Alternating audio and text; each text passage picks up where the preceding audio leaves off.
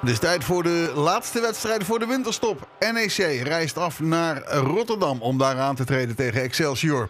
Trainer Peter Huballa is nu ruim een half jaar aan het werk met de groep. Ziet hij veel van zijn eigen visie terug bij het elftal? Het liefst speel je eigenlijk nog meer offensiever en uh, nog meer pressing. Maar dat zijn die stappen die we nu uh, ja, trainen en proberen. Ik zie heel veel in gegenpressingmomenten, also direct druk zetten. Ik zie heel veel van mijn fitness, van de scherpheid, van de agressiviteit en van de teamspirit. Daar zie ik heel veel dingen. En uh, de laatste wedstrijden moet ik echt zeggen, dat is geen alibi-motivatie. Dat is echt, zie ik ook voetbal. Ne? Herakles tweede helft, Utrecht tweede helft. ADO eerste helft, maar we hebben nog niet, we kunnen nog niet over 90 minuten dat zo presteren. Dat is zo moeilijk, omdat ja, je hebt ook een tegenstander op het veld.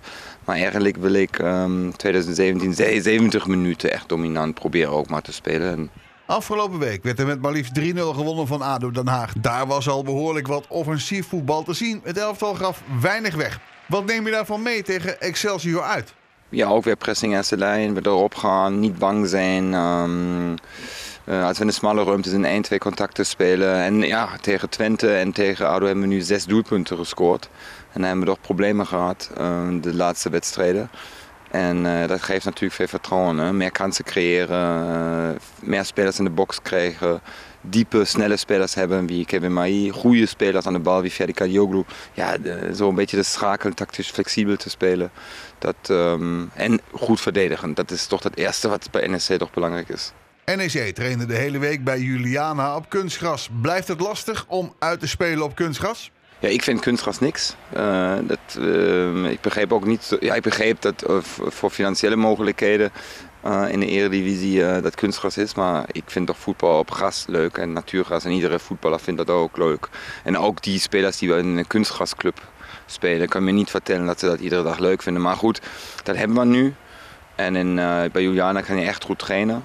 Ja, is een beetje anders natuurlijk. Maar we trainen eigenlijk sinds twee, drie weken alleen op kunstgras. En um, ja, dat, uh, als we dan toch geen punten halen in Excelsior, dat, uh, dat, niet, uh, dat ligt niet aan de kunstgras. Dat ligt aan ons dan. En aan de tegenstander. Nou, dat, ja, nu zijn we op kunstgras en klaar. Zijn er nog bijzonderheden in het elftal? Blessures bijvoorbeeld? Frank Sturing is geblesseerd. Dat is die enige die in 2016 niet meer voetbal spelen kan. En Gola en Dierastam zijn weer terug in de training gekomen en kunnen ook alle twee spelen. Staan die in de basis? Ja, Gola, uh, absoluut. En Dierastam, dan moet, moet ik nog kijken omdat hij een beetje langer geblesseerd was, denk ik tien dagen. Dan moet ik even nadenken.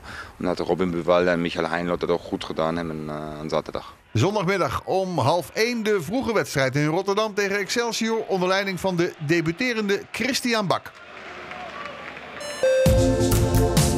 Volg ons online via Facebook, Altijd N1. Op onze website n1.nl of via Twitter, Altijd N1. Want Nijmegen is altijd N1.